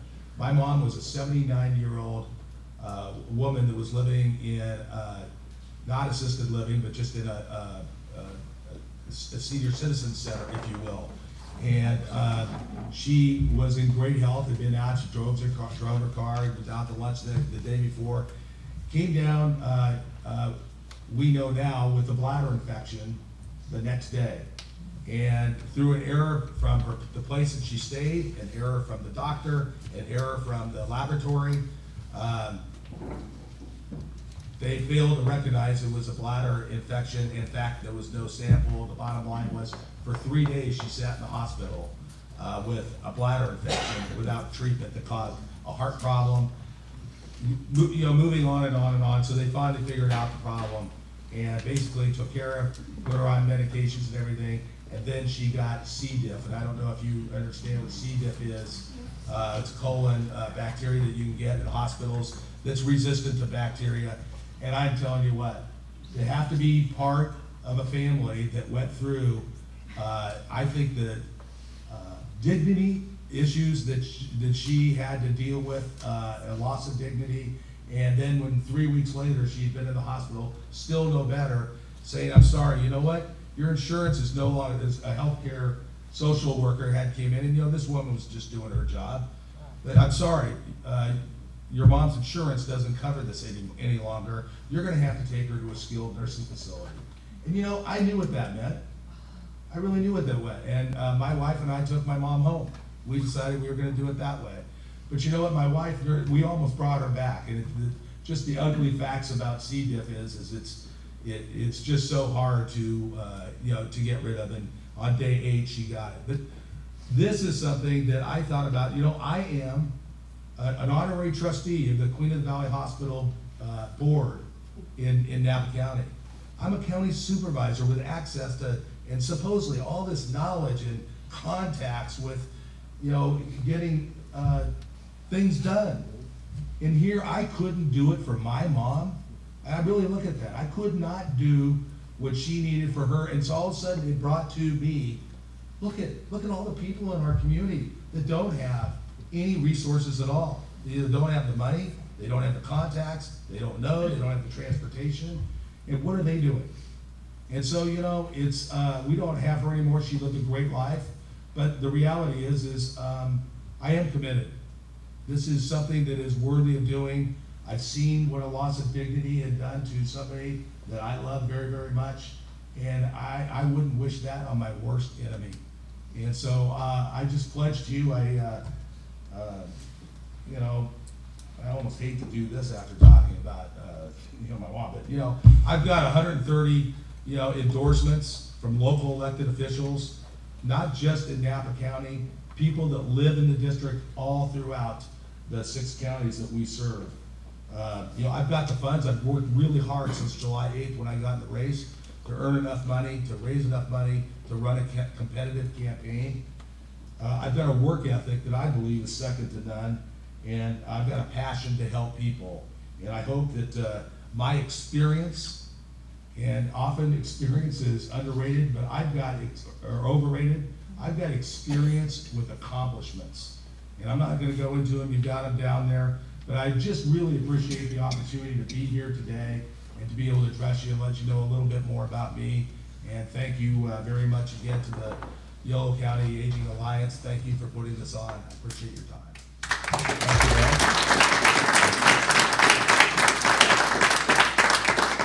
Uh, Next is uh, Mayor Joe Krovoza.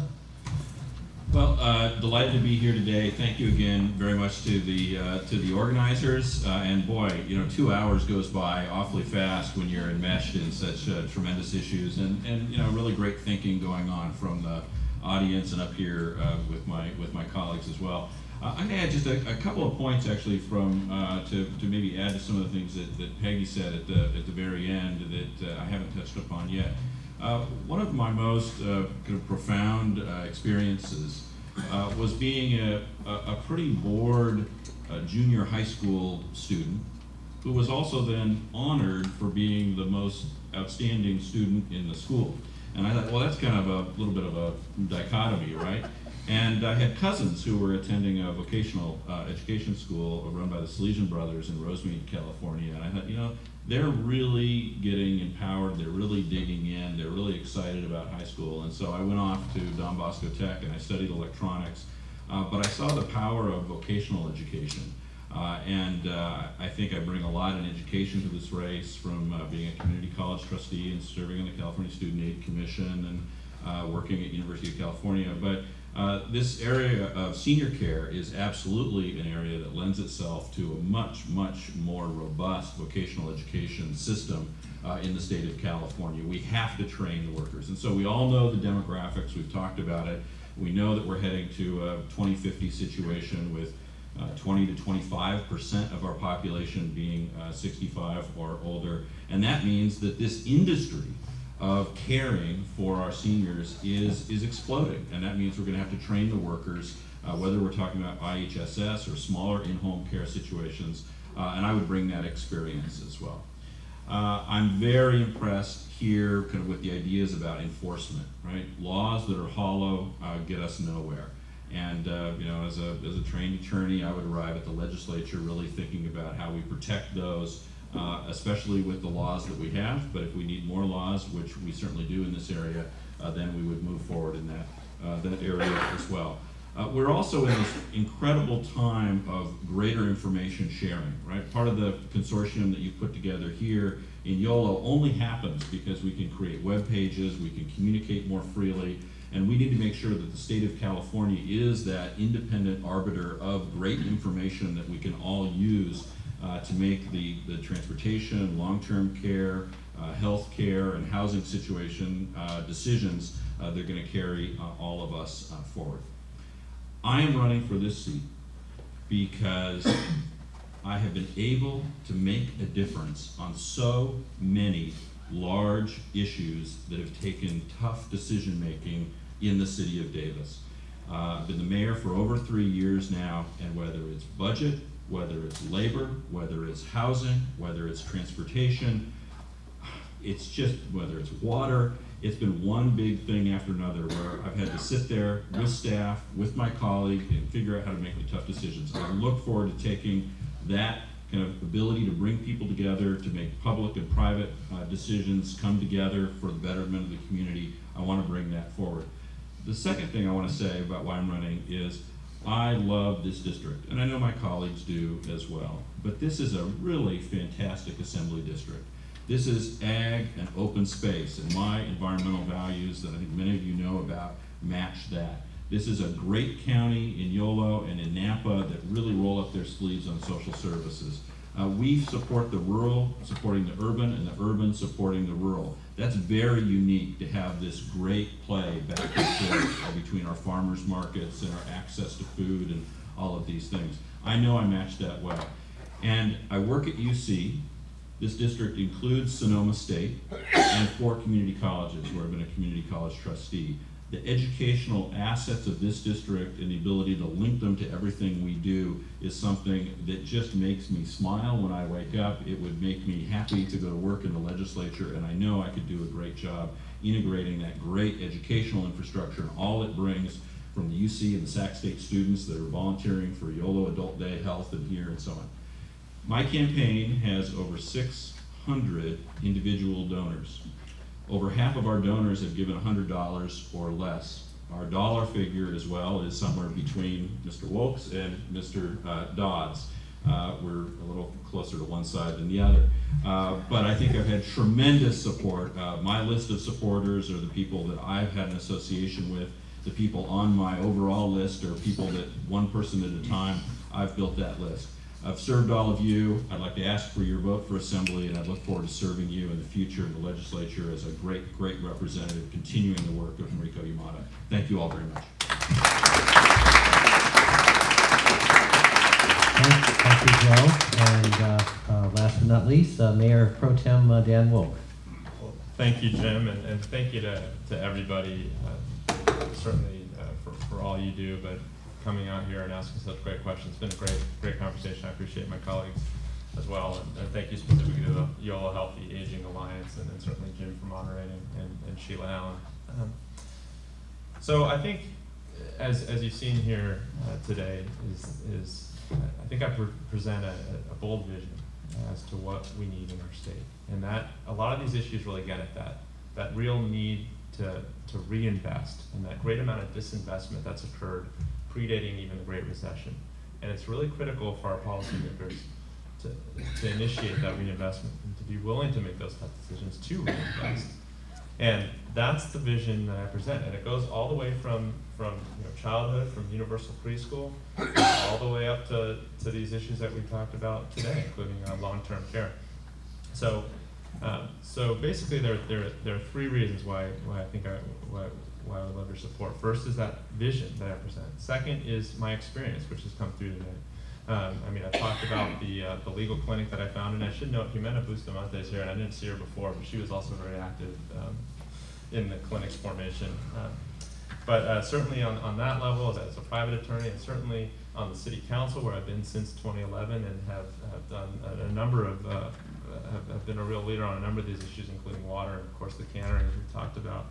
Um, and then lastly is my experience as a county counsel for the last number of years at uh, Solano County, where I've really focused, uh, you know, certainly on the issues presented here tonight, but on a whole host of other issues, whether it's realignment or, or the Delta or others. So, um, so vision, experience, and lastly is my clear ability to work with others, and that's really critical in the legislature. I think the ones who are successful the ones who are able to work with others, and I think, you know, I have a number of endorsements from throughout the district uh, coming from, from folks who I know very, very well, but also folks who I only met in the last few months, you know, school board members out of Rohnert Park, for example, or, or um, you know, city council members in, in Lake County who, who I've met with, talked with, talked about their issues, and they, they like what they're hearing and they endorse me. Uh, no other connections, but, but really that, me going up there for, a- for a weekend or multiple days and talking. And, and, um, and so a lot, a lot of these, uh, the folks, um, who are supporting me are, are, are, supporting me for, for, for the vision I present and for, for, uh, you know, the experience that I have and my ability to work with others. And I think my ability to work with others is really key here in Yolo County. And you'll see that all five members of our school board have endorsed me. The other three members of the city council have endorsed me. Uh, our two supervisors, including Supervisor Provenza and Supervisor Saylor, have endorsed me. And it's clear that I have that ability to work with others. And that is a key part of the legislature. Um, Bill is right when he talks about the, that importance of working with others. And, and that's the key to making legislation happen. Not only with having that vision, not only having that experience, but having that ability to work with others. So um, we're getting a lot of support, and what's key here, and this is the last thing, I know I'm much enough on time here, but the key here is we've had a strong advocate for these issues in the state capitol with Assemblymember Yamada. She's been excellent on these issues. She's been excellent on progressive issues in general, on democratic issues in general, and she has been strong. And we need a leader from this district who shares those, who is strong like her on those views. And that's, that's what I present, and we're getting a lot of supporters who, who see that, and, uh, and, um, and, yeah, I would just really like your support. Thank you very much. I I would like to thank all three candidates for coming today and, and for running for office. We have a tradition of excellence uh, with our members of the legislature, and that tradition will be continued with any of the three of these candidates. We're very fortunate to have such good people uh, running for office. Uh, I would like to thank uh, a few people, again, the uh, YOLO Healthy Aging Alliance, uh, Alliance Board of Directors, the In-Home Supportive Services Board of Directors for sponsoring the event, Palm Gardens uh, for providing the food, and, and there's plenty left. Feel free to take some before you leave. And also uh, Davis uh, Media Access. Uh, they're going to be providing cable and website uh, access to this event. So if you want to see it again or tell somebody who wasn't here, uh, it's going to be available. There's uh, candidate literature in the back. Uh, you can uh, uh, get more information there. And also an opportunity to meet uh, Congressman Garamendi on uh, Monday at noon? One, one o'clock, right here at the Davis Senior Center. He's coming to meet people, so uh, uh, feel free to show up, and I'm sure he'll be happy to talk to you. But again, thank you very much to the candidates for coming and uh, presenting their views today.